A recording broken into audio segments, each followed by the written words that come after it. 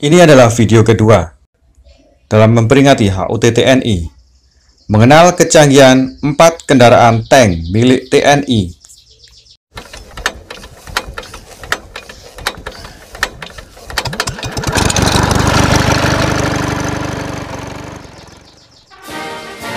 Tentara Nasional Indonesia dikenal sebagai salah satu militer terkuat di dunia. Hal ini tidak hanya dikarenakan jumlah personel TNI yang mencapai 800.000 orang, namun juga didukung oleh berbagai artileri dan alutista yang mumpuni.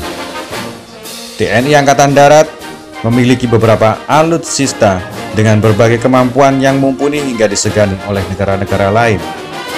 Di antara berbagai alutsista yang digunakan TNI Angkatan Darat, salah satu yang menjadi kendaraan garis depan dalam menghadapi serangan musuh adalah tank. Berikut adalah beberapa tank yang menjadi andalan TNI Angkatan Darat.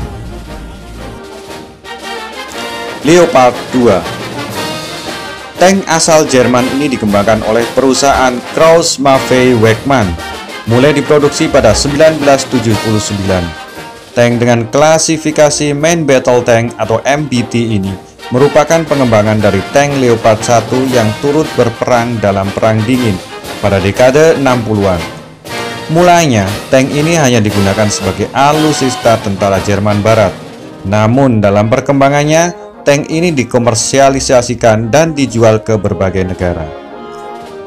Dengan panjang 9,67 meter dan lebar 3,7 meter, Tank sebesar 61 ton ini mampu memuat 4 kru di dalamnya.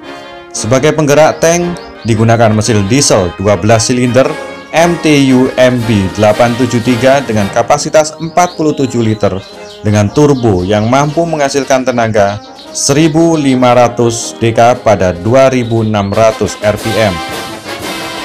Mesin ini mampu melajukan tank ini hingga kecepatan 72 km per jam dengan jarak tempuh sejauh sejauh 550 km.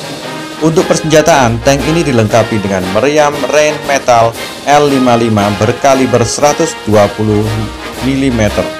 Selain itu, Leopard 2 juga memiliki senjata lain berupa senapan mesin bertipe MG3A1 berkaliber 7,62 mm yang mampu menampung 4.750 butir peluru.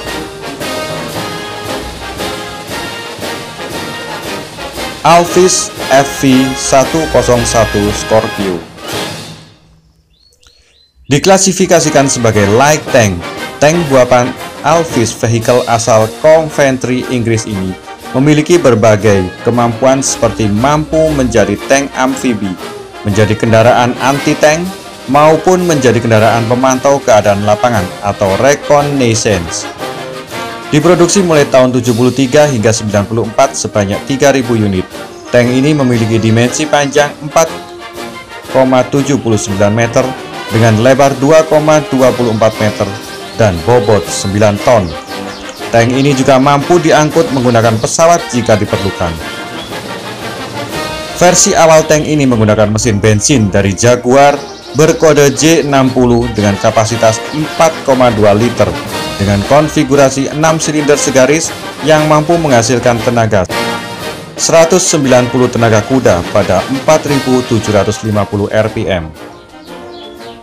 Pada perkembangannya, mesin bensin ini digantikan dengan mesin diesel dari Cummins berkode BTE 5,9 berkapasitas 5,9 liter dan berkonfigurasi 6 silinder segaris yang mampu menghasilkan tenaga 190 dk. Tenaga mesin disalurkan menggunakan transmisi buatan David Brown berkode TN15 dengan mesin diesel ini, tank ini mencatat kecepatan maksimal 72 km per jam dengan jarak tempuh maksimum 756 km. Tank Arisgator merupakan salah satu alutsista terbaru milik TNI Angkatan Darat yang baru datang Januari 2018 Tank amfibi ini merupakan modifikasi dari tank M113 buatan VMC Corporation asal Amerika yang dilakukan oleh perusahaan Italia bernama Aris atau Applicazioni Relaborazioni Impantian Speciali. Beberapa modifikasi dilakukan sebagai penyempurnaan dari tank M113, terutama di sektor daya apung dan populasi hingga arisgator yang mampu menjadi tank amfibi. Di antaranya moncong tambahan berbentuk haluan kapal, berisi gabus dan karet yang menambah daya apung, panel pembelah ombak yang mampu dibentangkan ketika tank ini melewati perairan, dan panel tambahan di bagian belakang untuk mengendalikan sistem water jet. Tak hanya dari bodi, tank ini juga mendapat ubahan di sektor pemersinan, seperti pemanjangan sistem gas buang dengan snorkel agar tak kemasukan air dan tambahan dua buah baling-baling hidrostatik sebagai penggerak ketika tank berada di dalam air. Baling-baling ini dapat melajukan tank hingga kecepatan 5 knot mampu mengangkut dua kru dan 8 pasukan. Tank ini ditenagai mesin diesel 4,4 liter dari General Motor dengan kode 6V53 berkonfigurasi V6 bertenaga 212DK. Dengan mesin ini, tank ini mampu mencapai kecepatan 61 km per jam dan jarak tempuh 480 km. Tank Harimau Selain menggunakan alutsista buatan luar negeri, TNI juga memiliki tank yang diproduksi dari dalam negeri. Adalah tank Harimau buatan PT Pindad yang dibuat melalui kerjasama dengan perusahaan Turki, FNSS. Tank yang masuk kelas medium ini dibuat untuk menggantikan tank milik TNI Angkatan Darat yang sudah berusia tua seperti tank AMX-13 buatan Prancis yang telah digunakan sejak 60-an. Sebagai tank baru, spesifikasinya pun sangat canggih. Di sektor mesin, ia dilengkapi mesin diesel milik Caterpillar berkode C13 berkonfigurasi 6 silinder segaris berkapasitas 12, liter yang mampu menghasilkan tenaga 711 dk yang menyalurkan yang disalurkan melalui transmisi otomatis. Mesin ini memungkinkan tank ini berlari hingga kecepatan 70 km per jam dan jarak tempuh hingga 450 km. Untuk persenjataan, tank ini menggunakan meriam jenis Cockerel 3105 dengan senapan mesin kaliber 7,62 mm. Selain itu, tank ini juga dilengkapi berbagai pelindung canggih seperti Stanak 4569 level 4 dari tembakan peluru berproyektil 14,5 mm dan Stanak 4569 level 5 agar tahan dari serangan peluru berkaliber 25 mm. Selain itu, tank ini memiliki kode anti radiasi nuklir, pemindai laser, dan granat asap yang dapat digunakan dalam keadaan darurat.